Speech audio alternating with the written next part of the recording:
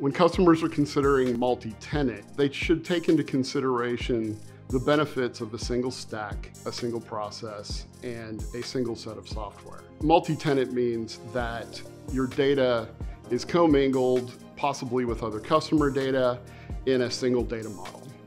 Single tenancy would imply that each customer has their own data model. The challenge that that leaves us is you have multiple code bases, multiple databases, and ultimately you can lose control of your software and security.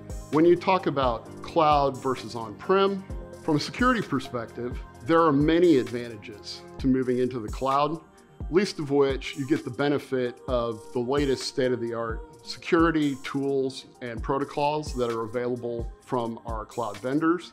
We use AWS.